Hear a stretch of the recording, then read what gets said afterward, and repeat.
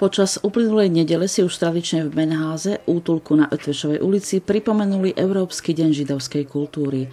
Úvod patril regionálnemu stretnutiu židovských spoločenstiev a náboženských obcí, počas ktorého vystúpil s prednáškou aj veľvyslanec štátu Izrael v Bratislave Alexander Benzvi, ktorý hovoril o vzťahu našich spoločenstiev s Izraelom.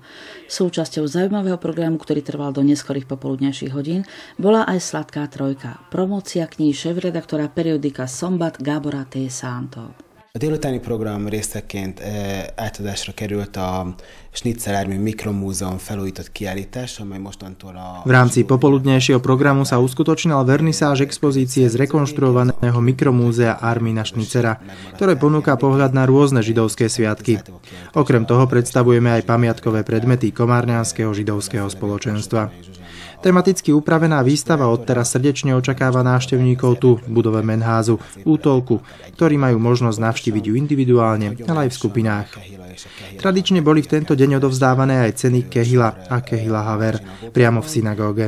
Cenu Kehila si v tomto roku prevzali hneď traja nominovaní. Miriam Nigel Freischmann, uznávaná výtvarníčka, ktorá sa narodila v Komárne, avšak od svojho prvého roku života žije v Jeruzaleme. Do Komárna sa chystá na židovský nový rok 16. septembra a cenu si prevezme až potom. Ďalšou ocenenou je Blanka Löwingerová, ktorá je tak povediac pilierom židovskej náboženskej obce v Galante. Súčasne veľkou mierou prispieva k udržiavaniu náboženského života na Slovensku.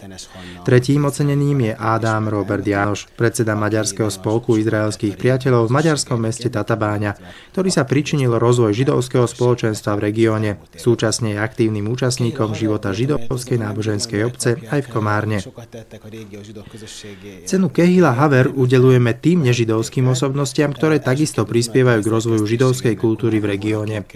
V tomto roku si túto cenu prevzalo 5 laureátov. Prvým je redakcia týždenníka Dunaj, ktorá sa už roky pravidelne zaoberá a uverejňuje informácie zo života židovskej náboženskej obce v Komárne.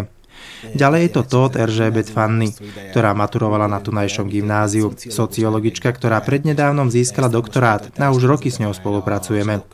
Ocenenou je aj Veronika Seneková, pedagogička Filozofickej fakulty Nitrianskej univerzity Konštantína Filozofa, za úsilie pri prednášaní v súvislosti so židovskou kultúrou a históriou.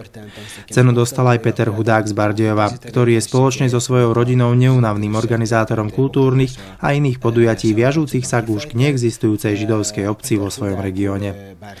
V neposlednom rade sa držiteľkou ceny stala aj doktorka Bene Magdolna, hlavná notárka župného právnického úradu, ktorá veľkou mierou prispieva k oživeniu tamojšieho spolku židovskej kultúry, respektíve uchovávaniu židovských tradícií v meste. Slávnosť udelovania cien vystriedalo vystúpenie populárnej slovenskej skupiny Presburger Klezmer Band, ktorá v Komárňanskej synagóge vystúpila po prvýkrát. A díjazottak köszöntése után pedig a Pressburger Klezmer Band koncertjére került sor, akik első alkalommal lépnek fel itt a Komármizsi Zsinagógában.